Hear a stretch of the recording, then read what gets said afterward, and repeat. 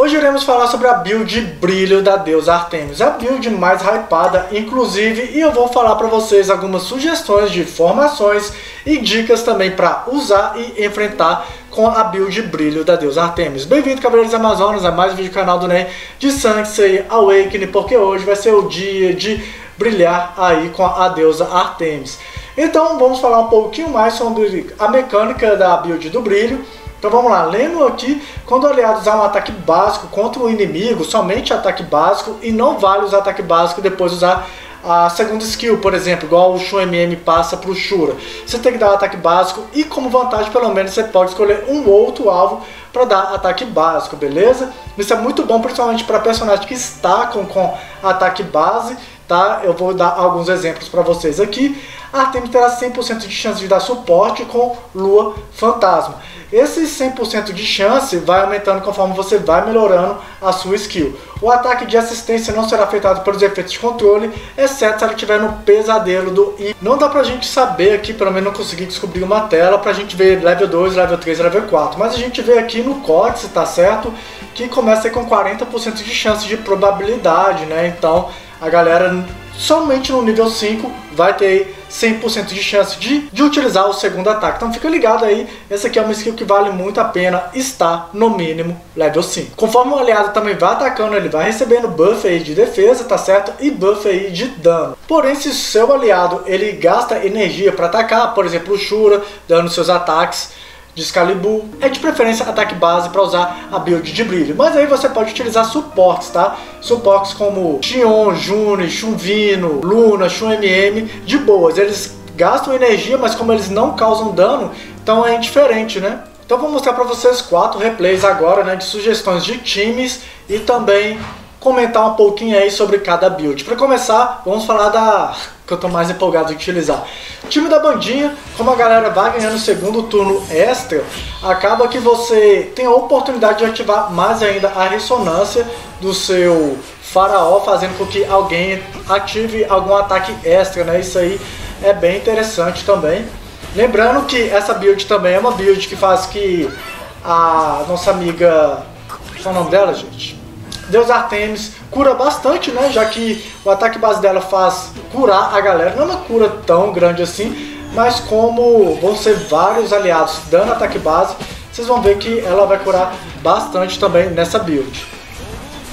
Uma das fraquezas desse time é Thanatos, né? Então, tipo, ah, você tá pegando algum personagem aí pra usar ataque base, aí Thanatos marcou alguém, ele vai ficar estourando o olho toda hora, fazendo que elimine o alvo e assim ele coloca o olho já em um outro alvo também. Então tem que ficar bem ligado nisso daí, de preferência você já, tipo, anular o Thanatos, né? Banir o Thanatos, como aqui é duelos sagrados, não dá pra banir também, né? Lembrando que tem reforço de dano na medida que a galera for causando dano aí, porém, o... aqui no duelo sagrado o dano é nerfado, né? Então ela vai ficar mais cabulosa ainda no PVP. Então aqui ó, todo mundo na ressonância, dando ataque base, tá vendo? Dou ataque base e alguém pode ativar a ressonância. Dou ataque base e alguém pode ativar a ressonância. Aí ativou a ressonância ali no nosso amigo e dei dois ataques base. Então ativou a ressonância ali no Sorento, por exemplo. Ah, a June, ela incomoda bastante o time da bandinha. Se o seu Sorento estiver despertado, você pode usar a skill de custo 4 na June, né? Que aí dá o sono profundo e ela não vai sair do sono, né? E aí sim você vai poder causar um grande dano no seu adversário. Então show de bola. A Pandora fica com muita facilidade de curar aqui também nesse time. Aí beleza, deu pra sobreviver ali, ó, foi quase. Lembrando que todo mundo que tem na ressonância né, do farol tem buff de dano, tem buff de resistência a dano, se eu não me engano. Agora me deu branca, a Juni perece nesse momento. Lembrando que a nossa boss ali, ó, a Artemis, ela ainda continua curando, tá, tá atacando ali, tá curando. Aqui eu tava testando ela de roca, não funciona a roca, infelizmente, né? Felizmente não, felizmente, senão ela fica mais roubada do que já é. Você pode usar ataque base também com a Artemis também, né? Na hora que chegar a rodada dela. Só se o Tarato estiver marcado, você não usa ataque base. Você gasta um de energia lá pra explodir. Felizmente ela pereceu, aí você para de receber o duplo ataque, né? Mas aí você tá com aquela vibe ainda da bandinha, né? qualquer momento eles podem usar uns ataques extras aí. E aqui é um time puro RNG. Se você gosta aí de aleatoriedade e que seja favorável, né? Esse aqui que tem um RNG mais favorável, né? Então são vários ataques aí.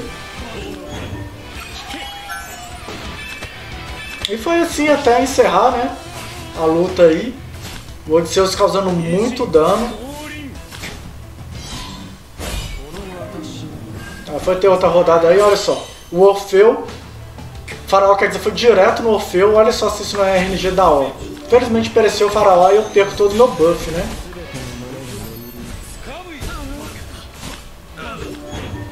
Aí já coloco todo mundo pra dormir. Já toma dano aí. Já toma dano ali. Já aumento meu dano aqui. Infelizmente a fadinha não foi no cano, né? Que tinha ir no cano, mas o farol finaliza ele, ó. Farol não, Orfeu, né? E assim, Hip, né? O cara ali só tá fazendo hora extra. Então vamos pra segunda luta. Na segunda formação vai ser uma formação de gelo, né? Que eu estou empolgado de utilizar minha formação de gelo novamente. Então essa daqui você pode colocar um Tanato, pode colocar um Milo Divino. Só que aqui o cara estava alterando bastante aí o Milo Divino com o Odisseus. No momento que estava gravando, aí eu troquei pelo Thanatos, né? Mas, enfim, você pode colocar outro de ataque base também, né? Um, o Milo Divino é a melhor opção, mas pode colocar um Milo Clássico, um Afrodite também. Então o cara tá de formação de gelo ali também, usando a mesma build, por isso que eu escolhi essa replay. Olha só no ataque base aqui, ó, do Yoga. Já congelei todo mundo. Isso na rodada 1, tá, galera? Olha que absurdo isso.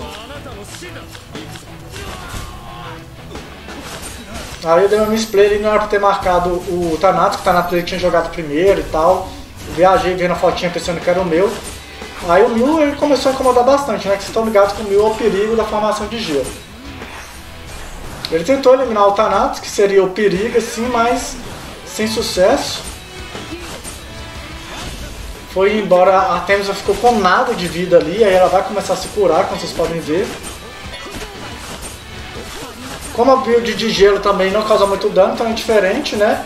Eles, o, o Yoga causar o dano extra dele com pó diamante ou não, né? Quer dizer, perder uma rodada, então fica lá o Camus estacando, fica lá o Yoga Divino estacando também, super de boa. Fica curando, né? O seu time fica com um sustain de cura um tiquinho legal também. E aí, da hora essa build. Eu gostei pra caramba dessa build, eu pretendo usar ela também. Principalmente se você usa uma build de lenta, né? Que eu gosto de usar build rápida. Mas build lenta vai favorecer ainda mais por causa do, da cura, né, do Shun MM, porque aqui a build de gelo é bem rápida, então complica um pouquinho aí, deixa todo mundo rápido aqui no Duelos Sagrados. Então vamos para a terceira sugestão de build aqui, mas enquanto a galera tá entrando na luta, não esqueça de deixar moral pro canal com o seu like, a sua inscrição e, se possível, compartilhar, beleza? Então aqui é uma build sem Juni, né? Então a gente pega aquela vibe do Xion, do Shun, eles protegem dois aliados aí. O Milo, ele fica invisível, né? Isso é muito bom, mas você pode colocar um outro suporte aí no lugar de algum atacante para o Xion e o Shun Divino proteger, né? O seu, seu atacante. Aí o terceiro, tipo, no lugar do Milo Divino, colocar algum suporte. E eu coloquei aqui a timidez de Afrodite, né? Que a Deus Artemis ela fica sendo muito alvo de aliados, de aliados não, de inimigo. Então, nos meus testes, esse time aqui flopou um pouquinho. Mas vocês podem ver que na rodada 1 eu já anulei ali o Odisseus e já anulei ali também o cano, quase o cano do cara, né? Tá bem ofensiva, três atacantes aqui de ataque básico, pode colocar um Afrodite também, uma ótima sugestão nessa build aqui no lugar do milho clássico, né? Eu pretendo colocar o Sagitário, despertar o meu, e o cara já desistiu que eu já fiz um grande estrago dele, né? Aí aproveitei só para fazer uma replay rápida aqui também, para não prolongar demais o vídeo. E para fechar uma build com Juni, né? Já que nem todo mundo tem um Shun Sapuri, tem um Shun Divino aí. Aí eu coloquei aqui um Hypnos para ser uma cura, mas dá para colocar um Odisseus. Coloquei ali um Ayora, né? Que é ótimo na formação controle. Com Hypnos, melhor ainda, não curto Ayora com formação de gelo. Então, são, e o Mystic, né, que ele vai ser uma opção legal, principalmente com o despertar da armadura do Saga Maligno, né, que vai forçar a galera a dar um ataque base aí. Então ele fica como controle aqui, fazendo com que ele tem, possa provocar até dois inimigos e ainda Artemis dando assistência e curando. Lembrando também que o Mystic ele é bem interessante para times com cura, né, e tal, se o cara que ele flopou, quer dizer, eu flopei, se não me engano, o meu time, podemos dizer assim, por causa que Faltou uma fadinha ali, ou o cara tinha tirado a fada, não entendi. Outro detalhe também é que a Artemis ela tira energia do inimigo, tá? Se vocês não repararam, o cano tá gerando 2 de energia. Então isso é bem da hora. Eu dei dois ataques base ali da Artemis pra dar uma curadinha mesmo. Ela tem que ficar ativando o plano a cada duas rodadas. Então rodada 1, rodada 3, rodada 5. Ela tem que gastar 1 de energia para ativar o plano, porque na build de caça ela gasta menos de energia, né? Já que dura 3 rodadas, que vai ser inclusive o vídeo de amanhã. Tem um vídeo de um Mist aqui no canal também, já que se você não conhece muito bem como é a vibe do Mist, link nos cards, esse vídeo aí que tá na tela, tá certo? E o Ayora aqui ele tá dando uma mitada aí, agora só com ataque base, né? ele causa muito dano com ataque base. O Afrodite, lembrando, né, o Afrodite tem que dar sempre a rosa vermelha, né, que é somente ataque base. Aqui eu cancelei a violência de Ares, porque se vocês viram o vídeo de ontem, vocês descobriram, né? Porque, como se diz assim, ele anular minha June. Então se você não entende muito as mecânicas da provação divina, que é a terceira skill da nossa deusa Artemis, tem um vídeo ontem, vou deixar nos cards também, dedicado somente sobre a priva privação divina, acho que é isso, privação divina, que é muito show. Tem algumas curiosidades lá, como o Odisseus pode ter vidas infinitas, lá você vai descobrir. Quem é o counter? Sim, ela tem um counter da sua skill 3, link nos cards se você ficou curioso e não tenha visto o vídeo mais personagens que podem se beneficiar com essa build. É o Poseidon, né, já estacando seu ataque base também, para depois ele dar o ataque em área já com três ataques extras também. Tipo na rodada 1.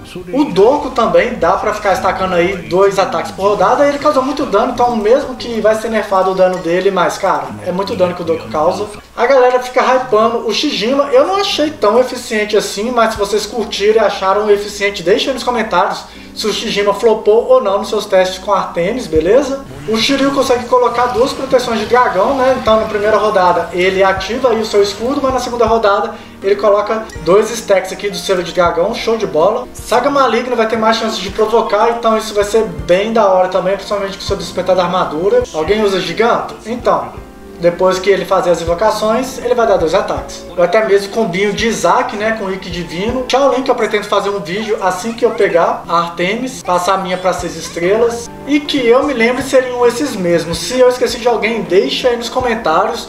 De qualquer forma, eu espero muito que vocês tenham curtido a vibe do vídeo. Se você quiser também dar alguma sugestão de dicas para essa build de brilho, deixa aí nos comentários. Para mais vídeo, link nos cards, esses aí na tela. E nos vemos no próximo vídeo. Valeu e fui!